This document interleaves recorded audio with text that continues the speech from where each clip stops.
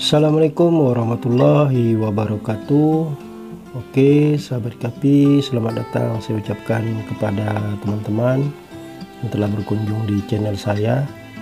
Mungkin pada video kali ini saya akan sedikit berbagi informasi lagi yaitu uh, mengenai cara membuat uh, alat sipon atau alat pembersih akuarium sederhana dengan uh, menggunakan bahan-bahan seadanya teman-teman.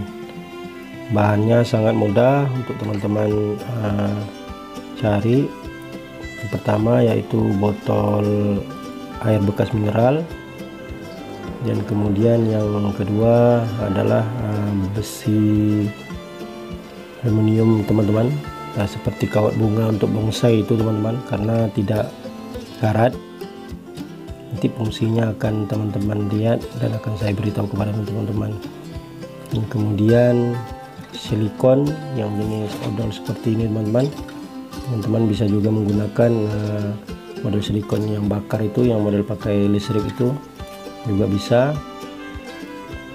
Dan kemudian yang terakhir adalah yang kita butuhkan yaitu selang air air selang aerator teman-teman. Jadi selang ini saya beli satu meter dengan harga 2000 rupiah teman-teman. Di sangat uh, murah meriah. Dan kemudian silikon tadi itu saya beli dengan harga 12.000 dan botol itu saya cari aja teman-teman bekas uh, orang minum. Jadi langsung saja saya informasikan cara membuatnya teman-teman. Pertama teman-teman bolongkan dulu botol ini seperti ini teman-teman ini saya membolongkannya dengan menggunakan paku teman-teman. Dibakar. Jadi seperti ini. Teman-teman juga bisa menggunakan solder teman-teman. Dan kemudian di bawah ini teman-teman bolong juga seperti ini. Dibolong seperti ini teman-teman. Jadi setelah dibolong dua-duanya seperti ini teman-teman. Uh, bolongnya sesuai dengan uh, ukuran dari selangnya teman-teman.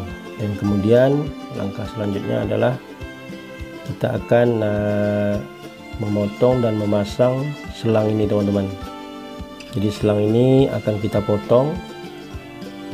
Mungkin akan kita potong seperti ini teman-teman ya. Oke teman-teman sahabat gapi setelah dipotong seperti ini teman-teman. Jadi kita potong dan kemudian ini kita potong hanya di untuk bagian di uh, bawah botolnya ini teman-teman. Ini hanya saya kasih ukuran sekitar 20 sentian. Jadi ini harus kita pasang benar-benar kita masukkan seperti ini teman-teman. Benar-benar harus uh, masuk teman-teman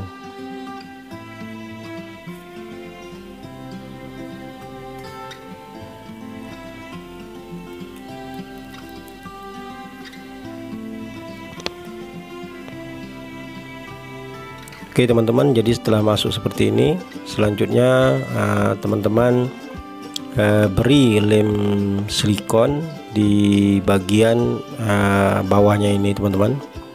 Teman-teman kasih silikon. Jadi begini teman-teman cara masang lemnya teman-teman. Harus merata semuanya merata. Yang kemudian teman-teman usap uh, perlahan dengan jari kemudian jangan sampai ada yang bocor teman-teman. Jangan sampai ada yang bocor. Dan kemudian uh, setelah ini uh, dikasih silikon seperti ini biarkan dulu biar uh, silikonnya ini uh, benar-benar uh, kering teman-teman. Benar-benar kering.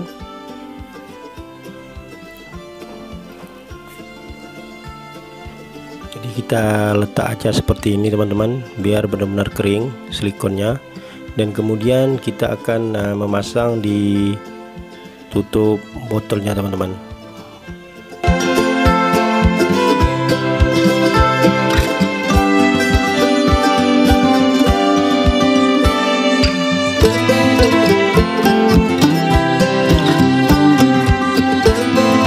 Kemudian kita kasih lem silikon lagi teman-teman seperti ini teman-teman.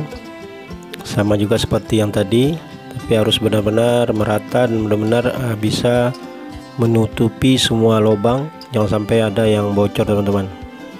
Ini kalau sudah bocor agak sulit untuk kita membuat uh, alat sipon ini teman-teman. Jadi usahakan jangan sampai ada yang bocor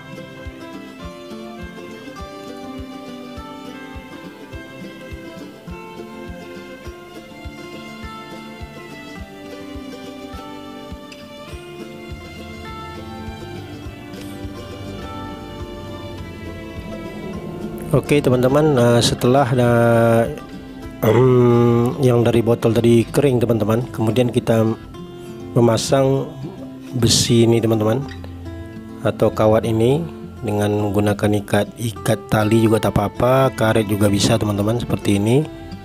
Jadi ini kita ikat fungsinya ini adalah untuk kita mengarahkan uh, kotoran-kotoran uh, yang ada di akuarium kita teman-teman jadi inilah fungsi dari uh, kawat atau besi yang kita gunakan ini supaya kita bisa mengarahkan kotoran-kotoran yang ada di dalam akuarium. Ini supaya apa nih dia punya selang tidak uh, istilahnya loyo atau lembek. Jadi bisa kita arahkan ke mana mau kita arahkan teman-teman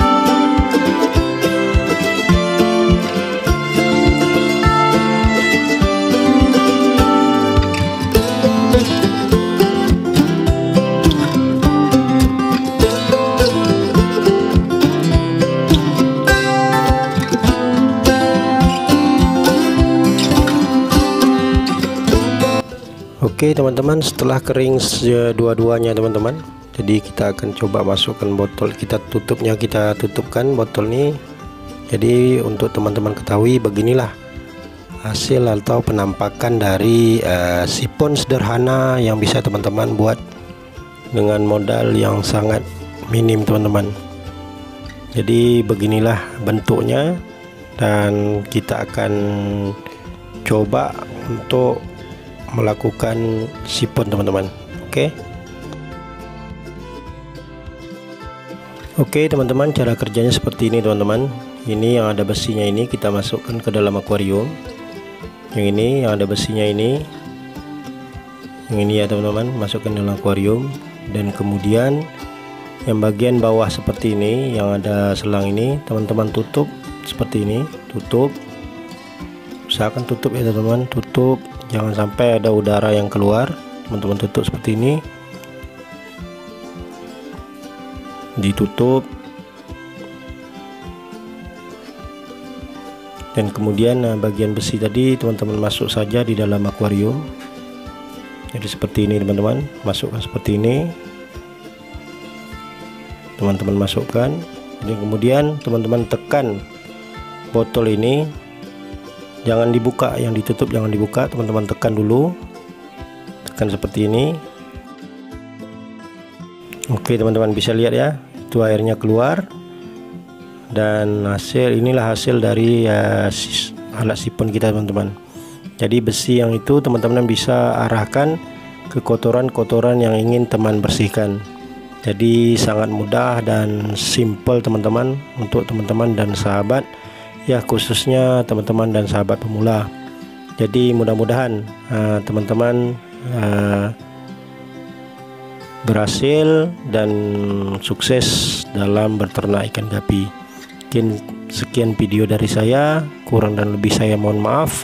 Saya akhiri dengan Assalamualaikum warahmatullahi wabarakatuh